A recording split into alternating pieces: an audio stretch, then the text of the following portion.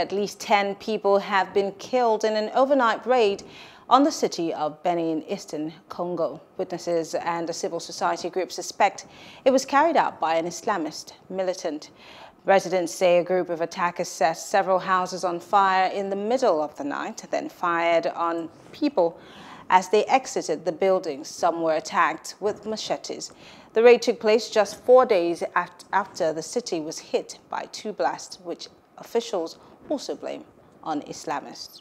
Hello, hope you enjoyed the news. Please do subscribe to our YouTube channel and don't forget to hit the notification button so you get notified about fresh news updates.